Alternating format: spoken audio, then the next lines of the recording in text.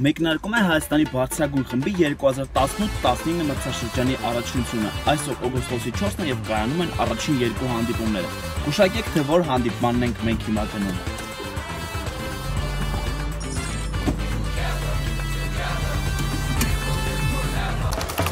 30 միլիոն դրամ EGT մեգա չեմպիոն մրցաշարում։ Ամեն օր 1 միլիոն։ Խաղա հայտնի EGT սլոթերը Toto Gaming-ում։ Կուտակիր միավորներ եւ ամեն օր օգոստոսի 1-ից օգոստոսի 30-ը կարող ես դառնալ EGT մեգա չեմպիոն եւ ստանալ քո մասնաբաժինը օրական 1 միլիոն դրամ մրցանակային ֆոնդից։ EGT մեգա չեմպիոն։ Նոր օր, նոր միլիոն։ Մանրամասները totogaming.am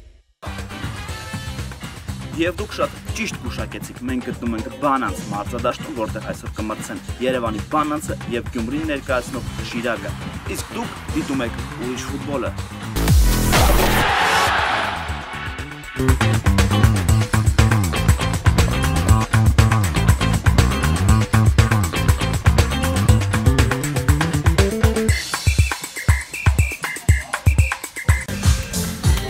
Բարև Թորոս։ Ինչպես ես։ Լավ, դու ես նկարում է։ Այո։ Ինչ ես կարծում, ինչպես կավարտվի այսօր Բանան Շիրակ հանդիպումը։ 2-1։ Այո։ Լավ։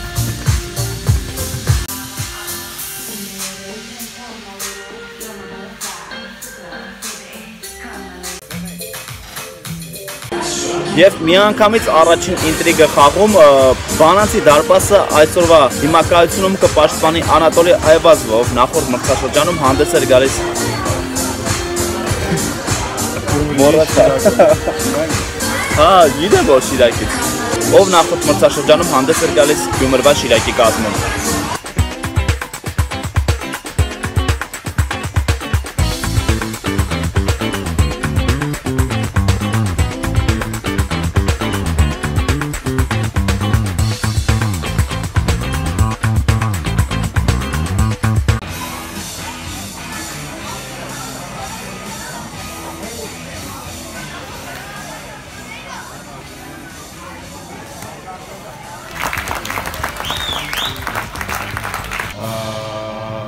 Ազատության կզովի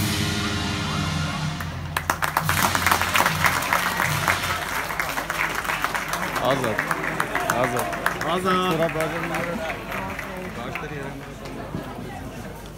Թեև բանան շիրակ հանդիպումը բավական հետաքրքիր ստացվեց, այնուամենայնիվ խփված գոլեր մենք չտեսանք։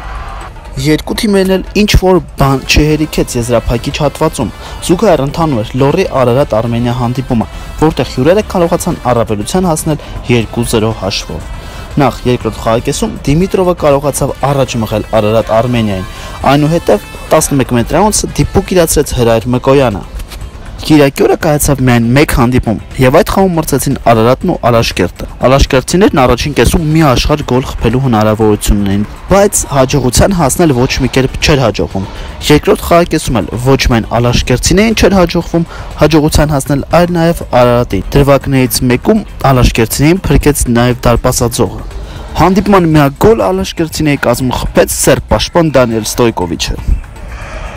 Ինչպես հին ու բարի նախորդ մրցաշրջանում առաջին տուրում Հայաստանի առաջնությունում տեղի ունեցավ 3 հանդիպում։ Դե Արցախը հանգստանում էր, իսկ Փյունիկն ու Գանձասարկապանը հանգստանում էին, քանի որ օգոստոսի 7-ին Փյունիկը պետք է ընդունի Մակաբին եւ լրացուցիչ հնարավորություն էր ստացել հանգստանալ Եվրոպա լիգայի խաղարկության 3-րդ փուլից առաջ։